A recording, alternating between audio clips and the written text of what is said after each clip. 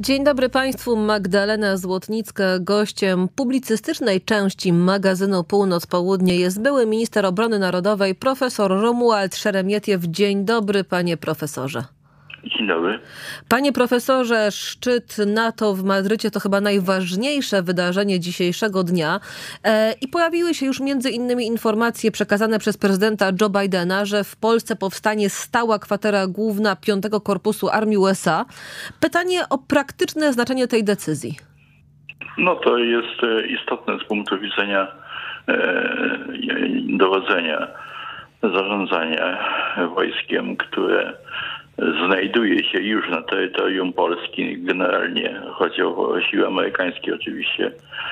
E, dlatego, że e, żeby te, te związki rosnące, e, taktyczne, które się tutaj pojawiały, można było użyć w odpowiedni sposób w razie konieczności, no to musi być dowodzenie na wyższym szczeblu, na szczeblu operacyjnym i korpus w tym wypadku współcześnie, współczesny korpus takim właśnie szczeblem dowodzenia jest i skoro e, Amerykanie wyraźnie mówią, że, ten, że tutaj ta, ta kwatera to dowództwo będzie na stałe, e, a więc to oznacza, że, że musi być jakoś skoregowane, wmontowane również w cały system dowodzenia, e, który funkcjonuje w Polsce i w współpracy z polskimi siłami zbrojnymi. A więc z punktu widzenia, powiedziałbym, naszych potrzeb, naszych oczekiwań, to bardzo dobra i, i korzystna dla naszego bezpieczeństwa decyzja. A czy bazy będą stałe? Nie wiem, to znaczy powinny być, moim zdaniem. Nie tylko dlatego, że e, bazy stanowią oparcie, powiedziałbym tak, na wojska, e, które znajduje się w danym terenie, ale również dlatego, że w przypadku sojuszu wiadomo, że jeżeli na jakimś terenie powstaje stała baza, no to e, nieprzyjaciel e, zdaje sobie sprawę, że ten teren na pewno będzie broniony, że nie zostanie oddany. Dlatego, że trudno jest e, bazę ewakuować, porzucić. Prawda, co prawda zdarzają się takie rzeczy w historii, ale bardzo rzadko. Natomiast jeśli o sojusz, to chyba nigdy takiej sytuacji nie było, żeby na, na terenie sojuszu, tam gdzie takie bazy powstały, żeby e, sojusz zdecydował się na, tego, na porzucenie tego terenu, oddanie go e, komuś tam, prawda? A więc no, my dlatego domagaliśmy się, domagamy się chyba, e, żeby powstały stałe bazy na terenie Polski, na terenie tutaj tej flanki wschodniej, ponieważ to byłby bardzo wyraźny sygnał dla potencjalnego nieprzyjaciela, że ten teren na pewno będzie broniony przez cały sojusz, a pamiętajmy, że e, sojusz e, NATO to jest przede wszystkim Stany Zjednoczone, więc największe mocarstwo, supermocarstwo, e... największa siła e, w współczesnym świecie. Mhm. Jeśli chodzi o kwestię baz i tego, czy one mają być stałe, czy też rotacyjne, tutaj pojawia się pytanie o kwestię tego, co jest istotniejsze z punktu widzenia strategii, albo czy może nie należy tego łączyć. To znaczy, czy istotniejsza jest stała obecność e, pewnej liczby żołnierzy na danym terenie, czy istotniejsza jest infrastruktura przerzutowa? Chodzi o tempo reakcji. Jak tutaj wygląda sytuacja?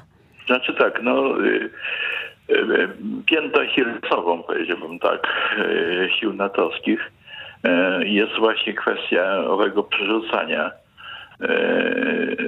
kiedy rozważano sprawę związaną z pomocą dla Polski, ewentualną pomocą militarną, to wtedy pamiętam taką wypowiedź chyba profesora e, Friedmana, George'a Friedmana, który mówił, że owszem, że, że Ameryka, Stany Zjednoczone na pewno Polsce udzielą pomocy w razie zagrożenia, ale że ta pomoc e, w sensie fizycznym, żeby się zjawiła nad Wisłą, to będą musiały minąć co najmniej trzy miesiące, żeby można było tutaj te siły zgromadzić i przewieźć i, i dostarczyć. No a trzy miesiące, no to widzimy właśnie, Ukraina przerabia, powiedziałbym tak, taką, taką sytuację, że, że pomoc e, nadchodzi, nadchodzi, nadejść nie może, tak, a wojna się toczy i no, to oznacza zniszczenia i różnego rodzaju trudne sytuacje, w jakie znajdują się Ukraińcy. A więc no to tak to, to wygląda, że to jest oczywiście sprawa ważna, e, ale przypomnę, że na to zwrócił uwagę jeden z wyższych dowódców amerykańskich, że budujemy centralny port no i tak dalej, i tak dalej. E, z kolei premier Estonii jeszcze przed rozpoczęciem szczytu NATO e, mówiła krytycznie o planach NATO, jeśli chodzi o kwestie dotyczące obrony, bo jej zdaniem plan NATO miał zakładać, że Rosja opanuje państwa bałtyckie, które następnie miałyby być wyzwolone przez wojska sojuszu w ciągu sześciu miesięcy od ich zajęcia. I mówiła, że jeżeli porównamy wielkość Ukrainy i krajów bałtyckich, będzie to oznaczać całkowite zniszczenie tych krajów jeśli chodzi e, o kulturę. E, pytanie wobec tego, czego my się możemy spodziewać po tej koncepcji natowskiej. E, premier Estonii wzywa do zmiany strategii odstraszania. Jak to powinno wyglądać?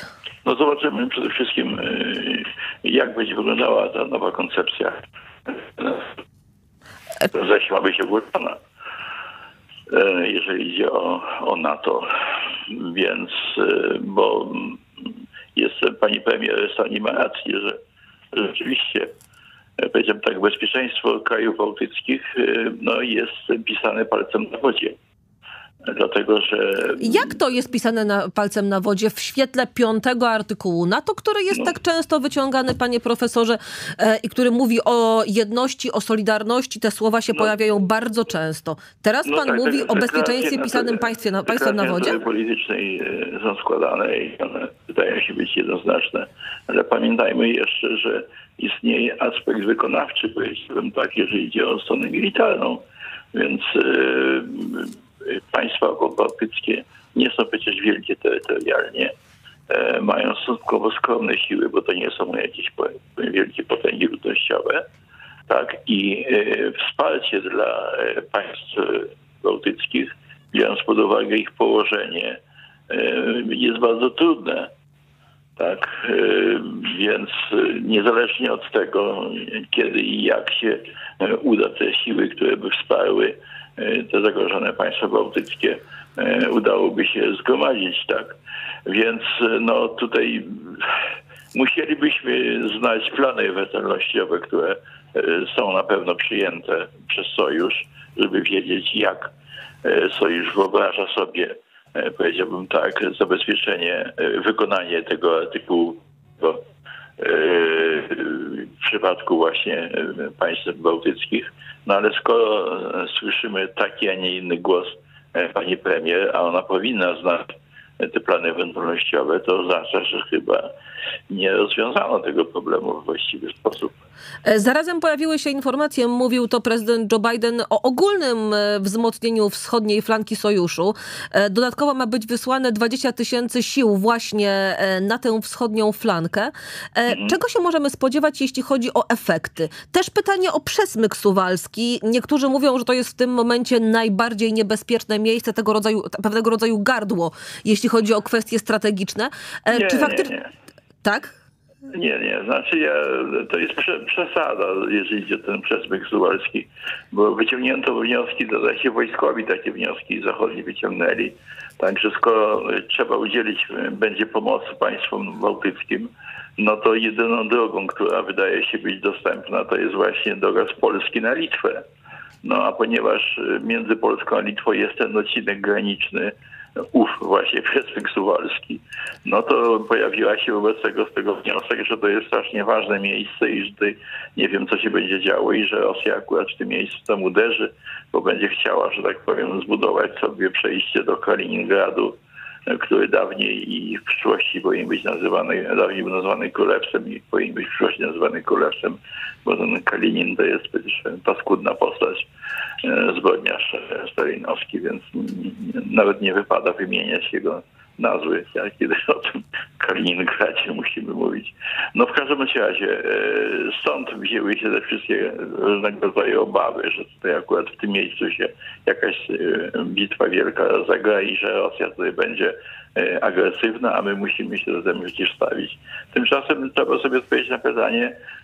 Ale jeżeli... takie głosy pojawiały się ze strony samych Rosjan, panie profesorze. Ale oczywiście, bo Rosjanie, Rosjanie grają różnego rodzaju strachami Pamiętajmy, że niezależnie od tego, co Rosja robi, e, powiedziałbym faktycznie, e, to oprócz tego Rosja cały czas prowadzi kampanię propagandową, e, która ma na celu przecież to, aby nas wystraszyć, aby nas zaangażować w różne miejsca, niekoniecznie najważniejsze. No i żeby paraliżować, powiedziałbym tak, jakby naszą wolę oporu, strasząc, co też oni Ale tam nie skoro zrobią. przy tym jesteśmy, mówi pan o Przesmyku tak. Suwalskim jako o takim miejscu, które jest też obiektem e, jakichś propagandowych działań Rosji. Tak, e, no, tak. taktyka wojenna czy doktryny wojenne raczej zakładają, żeby atakować nie tam, gdzie przeciwnik się spodziewa, tylko właśnie tam, gdzie się nie spodziewa. Znaczy, po pierwsze trzeba odpowiedzieć sobie na pytanie, yy, jaki charakter miała być międzynarodowa kooperacja w tym przesmyku suwalskim. Po co ją Rosja miałaby przeprowadzać? Jeżeli Rosja chce, że tak powiem, rzeczywiście zdecydowałaby się, żeby jakoś e, z tą obłaścią, która ma nad Bałtyku się połączyć, no to e, przecież nie, nie, nie, bez sensu jest e, szturmowanie, powiedziałbym, jakimś takim wąskim terytorium w sytuacji, kiedy z jednej strony są, są, jest, są siły polskie, wojsko polskie, a po drugiej stronie od strony północnej dla, takiego, dla, tej, dla osi takiego ataku są siły państw bałtyckich. Tak, a więc no, ewentualna taka ofensywa z Kaliningradu na Białoruś, z Białorusi na Kaliningrad rosyjska, no musiałaby operować, powiedziałbym tak, z dwóch stron. Więc to, co to oznacza? To oznacza, że jeżeli Rosja rzeczywiście miałaby siły możliwości i zdecydowałaby się na połączenie się z, z tą obłastią nadbałtycką, no to rozsądniejszym rozwiązaniem jest po prostu uderzenie na Litwę, zajęcie Litwy i wejście na granicę litewsko-ruską, to powiem tam w tym koło Kaliningradu, bo to jest znacznie dłuższa granica niż ten przesmyk suwalski i nie ma żadnej potrzeby, żeby ten, ten, ten Ale czy pana zdaniem, panie profesorze, Rosja w ogóle mogłaby się poważyć na atak na terytorium NATO? Dziś na naszej antenie Jerzy Marianowak, były ambasador Polski przy NATO, mówił, że Putin owszem jest nieobliczalny, ale na atak na NATO raczej się jednak nie poważy. No, Putin jest obliczalny oczywiście i liczy cały czas dokładnie, co, co może. Tylko, że on prowadzi trochę innego rodzaju obliczenia niż my prowadzimy. Ja na przykład też, jak, jak spora ilość różnych ludzi uważałem, że wojny między Rosją a Ukrainą nie będzie. Tak, dlaczego? Dlatego, że żeby prowadzić wojnę, żeby, żeby próbować podbić jakiś kraj, no trzeba mieć odpowiednie do tego siły, również w sensie ilościowym. Otóż te siły, które zgromadziła Rosja na granicach z Ukrainą, o czym wszyscy wiemy, były niewystarczające, żeby taką, żeby myśleć o tym, że, że, że można taką wojnę przeprowadzić. No i co się okazało? Otóż okazało się, że Rosja inaczej, Rosjanie całkiem inaczej skalkulowali to wszystko. Po pierwsze, oni nie założyli, mówię o Putinie, że będą prowadzić wojnę. Oni założyli, że sytuacja wewnętrzna na Ukrainie jest tego rodzaju, że, no, że, że, że, że ta Ukraina jest słaba, tam skorumpowana, takie rzeczy tam opowiadał Putin. No i jeżeli wejdzie stanowczo, ale jakaś ograniczona siła rosyjska, no to ci wszyscy, którzy mają dosyć rządu w Kijowie, a zwłaszcza ci, którzy mówią po rosyjsku, no, będą szczęśliwi. No dobrze, ale panie profesorze, tu się, okazało, tu się okazało, że Putin się przeliczył w tych swoich kalkulacjach. Miała być operacja błyskawiczna, tymczasem Rosjanie ugrzęźli, e, jeśli chodzi o Ukrainę. Mamy bohaterski opór Ukraińców trwający już bardzo długo. Więc pytanie, czy Rosja zacznie wyciągać z tego wnioski? Czy już zaczęła w pana ocenie? To znaczy nie wiem. To znaczy pamiętajmy i o tym, że Putin jest w pewnej sytuacji, powiedziałbym tak, psychologicznej, on jako przywódca, bo on się założył, że on będzie takim nowym odnowicielem, takim nowym odnowicielem, będzie odnowicielem Rosji coś na kształt Piotra I. On zresztą nawiązuje do, do postaci Piotra I. Zdaje się portret Piotra I w jego gabinecie, więc, więc to jest, powiedziałbym, no i Piotr I, jak wiadomo, budował potęgę Rosji, współpracując bardzo blisko z Niemcami. No ale tak. jeżeli bawić się w tego typu analogie, no to Piotr I był też takim carem, który chciał w Rosji wprowadzać standardy zachodnie, obci obcinał tak. bojarom brody, etc. Tak, tak, Patrząc na Władimira Putina, chyba raczej tendencje przeciwne widzimy. Nie Zachód wiem, w tej narracji rosyjskiej jest wszystkim, co złe. Owszem, Zachód tak, ale już rozwiązania technologiczne, a zwłaszcza to, czym dysponują na przykład Niemcy czy Francuzi, to nie jest złe. Więc i nic innego nie robił Piotr I. Po prostu nie, nie, on obcinając te brody, to nie obcinał jednocześnie tych cywilizacyjnych rzeczy, które w, w duszach i w głowach Moskali funkcjonowały i funkcjonują, tylko pobierał po prostu różnego rodzaju rozwiązania organizacyjne, techniczne z Zachodu, no i je wprowadzał w Rosji i podobnie próbował robić Putin. Więc panowie są do siebie podobni. Jakkolwiek no, Piotr I był dużym mężczyzną, a podpułkownik Putin raczej e, Mikejo jest postaci. Panie profesorze, zostawmy już męskie brody i męskie sylwetki, przejdźmy do e, Szwecji i Finlandii. E, a te mhm. uzyskały zielone światło także tak. od Turcji, która stawiała opór, tak. jeśli chodzi o kwestię dołączenia do NATO. Tak, tak. Jens Stoltenberg mówi o bezprecedensowo szybkim tempie prac nad przyjęciem tychże krajów do sojuszu. Mhm. I pytanie, ile to będzie trwało, bo tu jest jeszcze kwestia też zgody przez poszczególne parlamenty poszczególnych krajów członkowskich. E, na ile szybko i też znaczenie taktyczne tego przyjęcia? Co się właściwie zmieni? No bo i Szwecja, i Finlandia to były kraje traktowane przez Sojusz jako takie kraje, no powiedziałabym, zaprzyjaźnione. Tak, tak, tak. Znaczy ja, ja, ja przewidywałem, jeżeli ktoś sięgnie do moich wypowiedzi e, wtedy, kiedy pojawiły się z jednej strony te zapowiedzi, że że, że Finlandia i Szwecja chcą wstąpić do NATO, a potem pojawiło się, że Turcja e, się na to nie zgadza, no i już dodają spekulacje. I ja powiedziałem wtedy, że, że oczywiście, że, że znajdzie się sposób, żeby Turcy się zgodzili. No i jestem pewien, że Finlandia i Szwecja będą e, członkami NATO, więc to dla mnie to jest oczywiste. Ja po prostu wiem, jak funkcjonuje Turcja w NATO po prostu Turcy za każdym razem, kiedy pojawi się jakiś ważny problem, w którym trzeba się wykazać w sojuszu jednomyślnością, próbują coś załatwić dla siebie. E, no i tak, tak funkcjonuje sojusz, to znaczy zanim dojdzie do ogłoszenia jakiejś decyzji, no to wcześniej trwają różnego rodzaju konsultacje i uzgodnienia. To zwłaszcza Amerykanie są w takich sytuacjach często bardzo aktywni. No i zjednuje się różnego rodzaju prezentami, nazwijmy tak brzydko, e, różnych wątpiących tak żeby no, w tym dniu ważnym, kiedy decyzja ma być ogłoszona, wszyscy mówili tak jest, jesteśmy zgodni, to jest nasza wspólna decyzja. No. W I momencie, tak w którym stało. Finlandia i Szwecja e, zdecydowały, e, także obywatele tych, tych krajów zdecydowali, tak. że chcą być członkami mhm. NATO, ze strony Rosji zaczęły się wydobywać takie no typowe dla Kremla pomruki. E, tak, Pytanie, tak, na tak. ile w tym momencie trzeba uważnie patrzeć na granicę fińsko-rosyjską? Możemy sobie, znaczy tak, no po pierwsze w momencie, kiedy, kiedy Finlandia wstąpi do, do sojuszu, to już będzie granica natowska, a granice natowskie są... Granica pod... bardzo długa, dodajmy. Tak, ale one są, wszystkie te granice są pod kontrolą, tak. Mamy na szczęście jako NATO dobrze rozwinięte systemy rozpoznania korzystają z tego między innymi Ukraińcy teraz w tej wojnie, którą prowadzą z, z, z Rosją.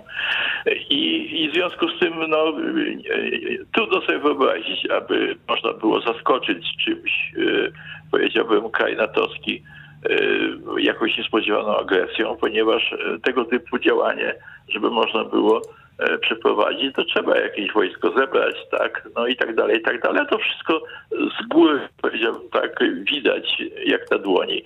Więc, więc Finlandia wchodząc do struktur natowskich uzyska również tego typu ochronę.